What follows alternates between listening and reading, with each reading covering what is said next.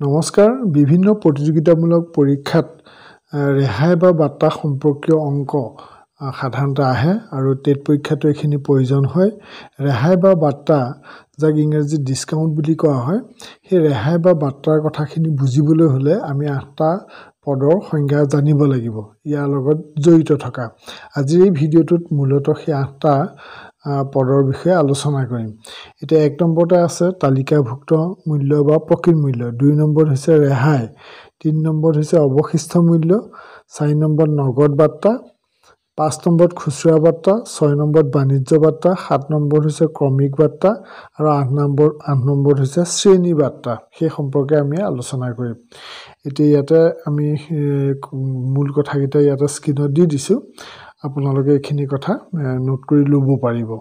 এতিয়া তালিকাভুক্ত মূল্য বা প্ৰকৃত মূল্য কাক বোলে? যে এটা বস্তুৰ ছপা মূল্য বা মূল দামক প্ৰকৃত মূল্য বা তালিকাভুক্ত মূল্য বা মুঠ মূল্য বুলি কোৱা হয়।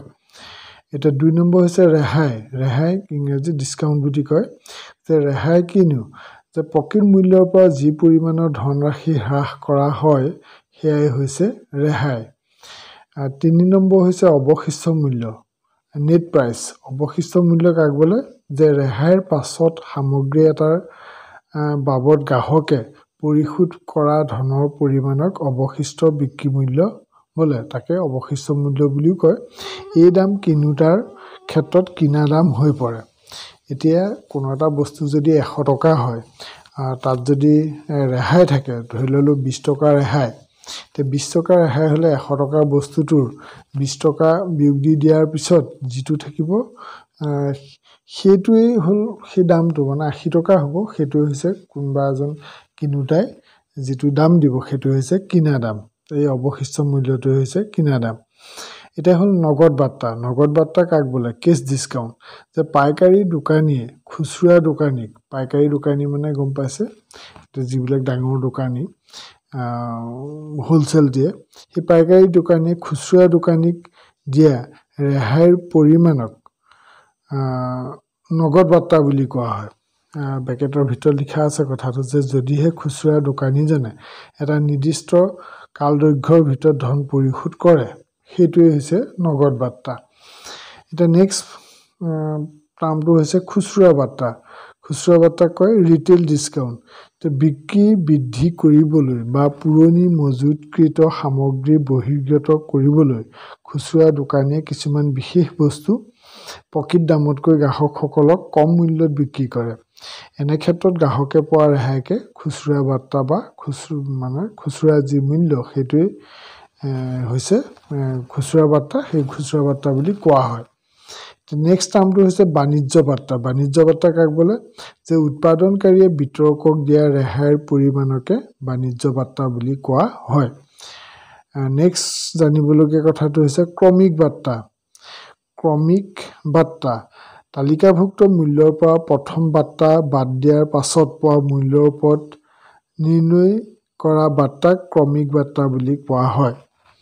ইয়াৰ পাছৰ দৰকাৰী কথাটো হৈছে শ্ৰেণী বাৰ্তা ডিছকাউণ্ট চিৰিজ এটা বস্তুৰ তালিকাভুক্ত মূল্যৰ ওপৰত দুই বা ততোধিক বাৰ বাৰ্তা দিয়াকে শ্ৰেণী বাৰ্তা বুলি কোৱা হয়। মানে একেটা বস্তুৰ ওপৰত যেতিয়া কেতিয়াবা দুবাৰ ৰেহাই দিবলগীয়া হয় বা তাতকৈ বেছি যদি ৰেহাই দিবলগীয়া হয় মানে দুটা বা ততোধিক বাৰ্তা যদি দিয়ে সেইটো হৈছে শ্ৰেণী বাৰ্তা ঠিক আছে? তাৰপিছত ক্ৰমিক বাৰ্তাটো বুজি পালে যে এটা তালিকাভুক্ত যিটো মূল্য আছিলে প্ৰথমবাৰ যেতিয়া ৰেহাই দিলে বাৰ্তা মানে ৰেহাই হয় ৰেহাইটো বাদ দিয়াৰ পিছত যি মূল্য আছে সেই মূল্যৰ ওপৰত আকৌ নিৰ্ণয় কৰা যিটো ৰেহাই সেইটোৱে হৈছে ক্ৰমিক বাৰ্তা। আৰু বাণিজ্য বাৰ্তা বুজি পাইছে নিশ্চয় যে উৎপাদনকাৰীয়ে বিতৰকক যিটো ৰেহাই পৰিমাণ দিয়ে উৎপাদন যি বস্তু এটা মানে উৎপাদন কৰে সেই উৎপাদনকাৰীসকলে বিতৰকক মানে গোটেই বস্তুটো যি ডিষ্ট্ৰিবিউট কৰে সেই বিতৰকসকলক দিয়া ৰেহাই পৰিমাণেই হৈছে বাণিজ্য বাৰ্তা। আজি আঠটা টাৰ্ম মূলতঃ আলোচনা কৰিলোঁ। পৰৱৰ্তী সময়ত এনেকৈ গণিতৰ বিভিন্ন সংজ্ঞাসমূহ আলোচনা কৰা হ'ব। আপোনালোকে কেনেধৰণৰ কথাবিলাক বিচাৰে যে গণিতৰ ক্ষেত্ৰত বিশেষকৈ কোন কোন কথাকেইটা আপোনালোকে বিচাৰে সেইখিনি কমেণ্ট কৰিবলৈ নাপাহৰিব। আৰু এক লাখ নিযুক্তিৰ ক্ষেত্ৰত আপুনিও যাতে এটা চাকৰি লাভ কৰিব পাৰে তাৰ কাৰণে ধাৰাবাহিকভাৱে প্ৰিপেৰেশ্যন ক্লাছ দিয়া হ'ব। সদায় চাই থাকিব আৰু ইউটিউবত কুমাৰ বসন্ত আছাম বুলি চাৰ্চ কৰিব শেহতীয়া ভিডিঅ'বোৰ পাব। আৰু বিভিন্ন টেট পৰীক্ষাৰ লগতে অন্যান্য প্ৰতিযোগিতামূলক পৰীক্ষাৰ কাৰণে উপযোগী ভিডিঅ'বিলাকৰ লিংক এই ভিডিঅ'টোৰ ডেছক্ৰিপশ্যনত দিয়া হৈছে। গতিকে সেই ভিডিঅ'খিনি চাব পাৰিব। আৰু যদিহে চেনেলটো ছাবস্ক্ৰাইব কৰা নাই জল ছাবস্ক্ৰাইব কৰি ল'ব নিজৰ সুবিধা হ'ব। ধন্যবাদ জয় অসম।